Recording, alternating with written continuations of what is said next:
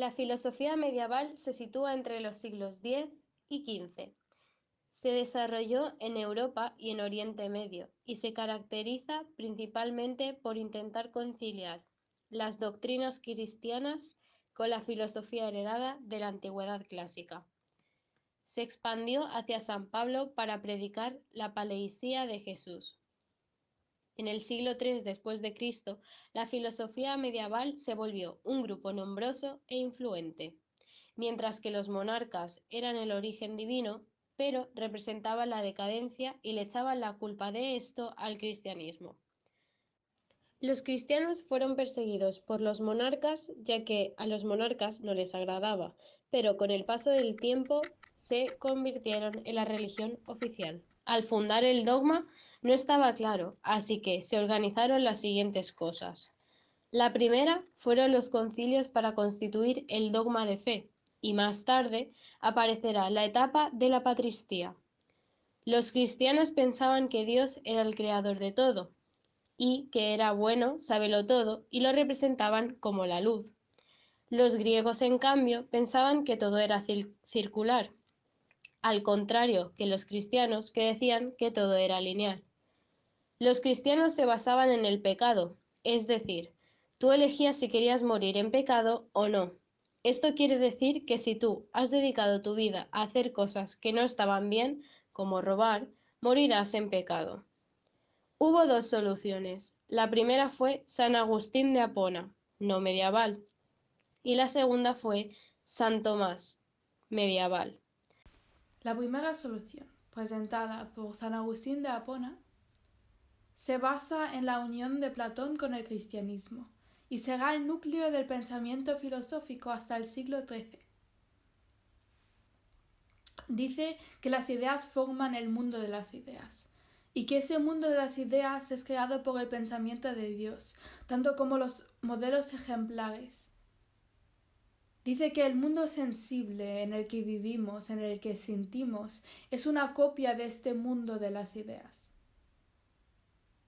La creación de Dios lo define como unas semillas que se expanden. Y dice que la verdad es Dios, que tiene que existir, rechazando así a los escépticos que dicen que no hay verdad.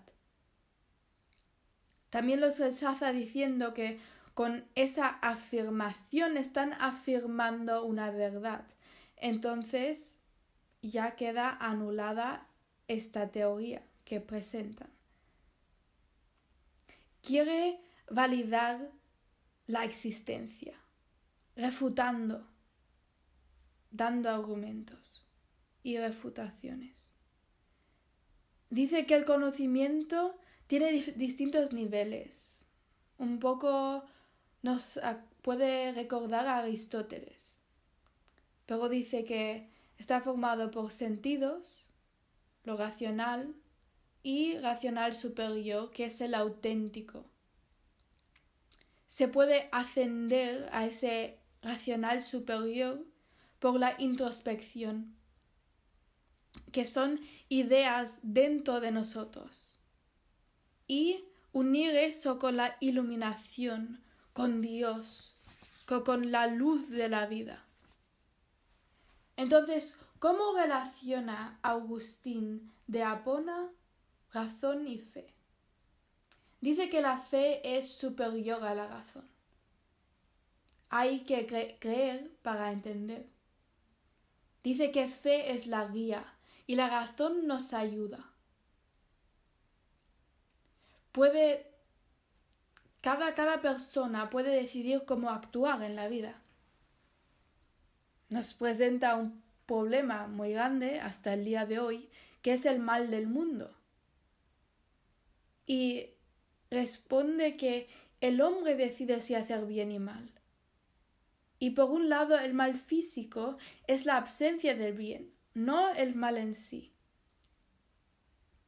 Por otro lado también nos presenta el problema del mundo maniqueo o el maniqueísmo, que es un poco la lucha del bien y el mal, o Dios con el mal del mundo. Por último, concluye que hay un único principio. Y ese principio es el bien. La segunda solución nos la presentará Santo Tomás y eh, sería la escolástica, que será muy criticado por Descartes. El primer paso de esta escolástica sería la, lectura de un texto o bíblico o filosófico. El segundo paso sería aclarar cuestiones que puedan surgir en ese debate. el siguiente paso sería contraponer, argumentar, hablar entre sí. Y la última y cuarta sería una afirmación final.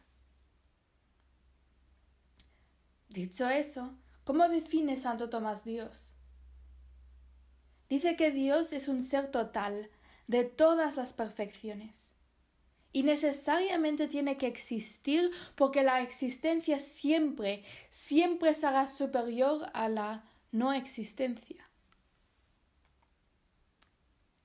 Une a Aristóteles, que cree en la razón, con el cristianismo, esa fe. Da más peso a la razón y dice que la fe la tenemos que conocer con la razón, razonadamente.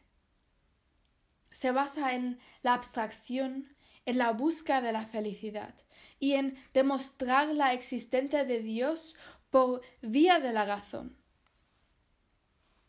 por vía del movimiento, como la potencia se convierte en acto. Dice que Dios es el primer motor inmóvil, que al haber causalidad en nuestra vida, esta primera causa que tiene que haber es Dios, es esta luz. Entonces necesariamente tiene que existir porque nosotros tenemos una idea de perfección. Entonces, ¿de dónde la sacamos? ¿De dónde sacamos estos grados de perfección, esta idea? porque el primer perfecto es Dios. Lo une también con la teleología, propósito a todos. Telos, que significa necesita Dios.